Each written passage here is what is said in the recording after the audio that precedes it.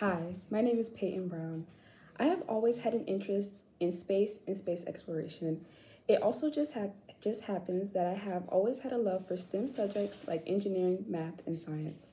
This love grew as I continued to get older and led me to attend a high school that specializes in technology.